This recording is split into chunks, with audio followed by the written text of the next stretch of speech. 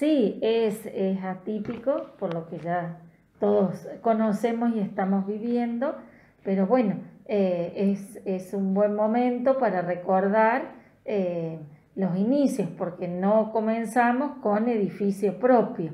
Fue todo un trabajo de mucha gente, de mucha gestión, para que así pudiera eh, suceder y que, bueno, estemos disfrutando del, del edificio con este, eh, la característica de tener los entornos productivos también acá cerca, si bien tenemos el otro predio que está sobre la ruta, pero eh, no todas las escuelas agropecuarias pueden eh, realizar las actividades prácticas en el mismo este, lugar contiguo al edificio, ¿no?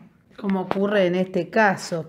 Y realmente, si nosotros nos basamos en la historia del IPEA, nos remontamos a aquel, aquel local donde primeramente funcionó, con espacios muy reducidos.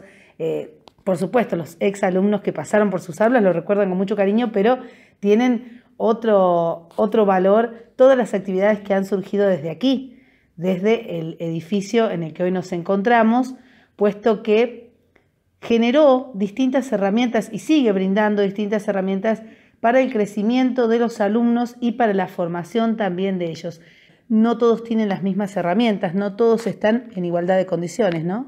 Sí, esto es, eh, es una situación que se sucede a nivel mundial.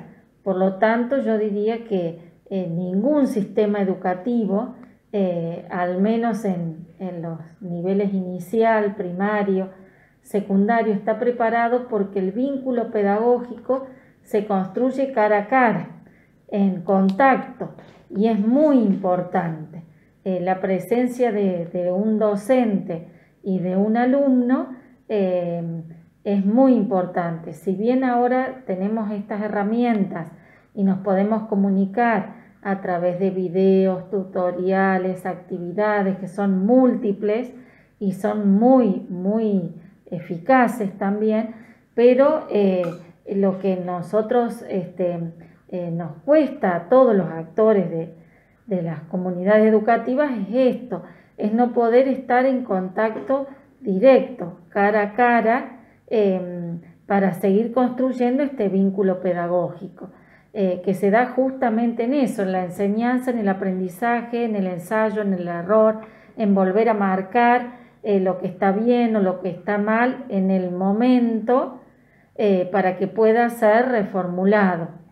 Eh, pero bueno, estamos todos en esto, es un esfuerzo realmente muy importante el que están realizando tanto los docentes desde sus hogares que tienen también a su familia consigo, em, a los alumnos que como conversábamos recién, em, eh, tienen, eh, hay familias que son varios alumnos, no todos disponemos de una, de una computadora o de un teléfono para cada uno.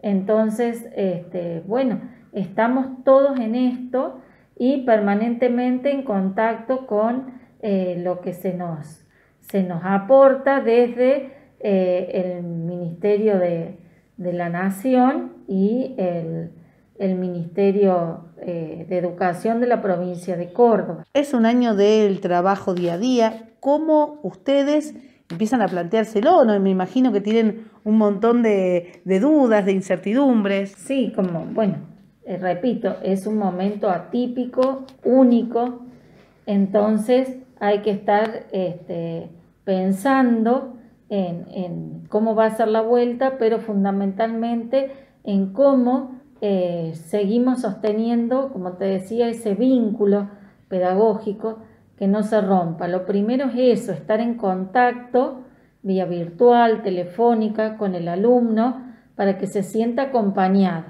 porque un, adolescente en este momento en el que el adolescente eh, siempre está buscando contacto con sus pares a través bueno, de la escuela, de las salidas, del deporte, eh, de las artes, eh, del poder estar reunidos tomando mate en la plaza, por ejemplo. Entonces, al no eso darse, Bueno, mantener ese contacto para que el alumno pueda realizar las actividades.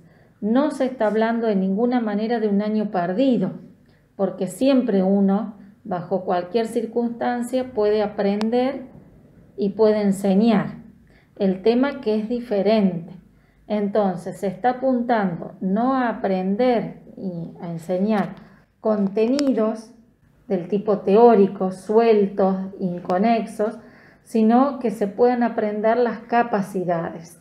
Las capacidades, sobre todo en la provincia de Córdoba, tenemos eh, abordar, que abordar las capacidades de la lectocomprensión, eh, de la resolución de problemas, del pensamiento crítico.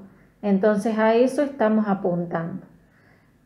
Cuando se retome, que ya nos van a decir cómo, eh, se va a priorizar eh, los alumnos que están terminando ciclo. Eh, en nuestro caso, los alumnos de séptimo año. Entonces, con ellos sí que nosotros al ser escuela técnica tenemos, por ejemplo, una materia que es toda práctica, que es la FAT, formación en ambiente y trabajo.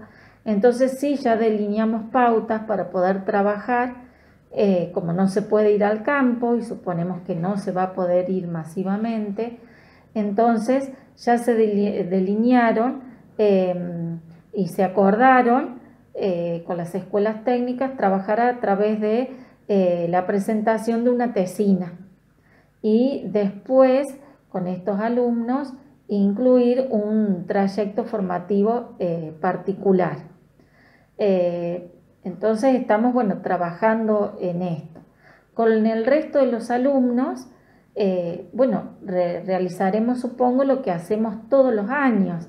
Eh, cuando un contenido no se, o un aprendizaje no se puede lograr en un año, uno después tiene las herramientas como para al año siguiente eh, poder enseñarlo, aprender, fortalecer, eh, ver, eh, bueno, esto que llamamos nosotros la retroalimentación.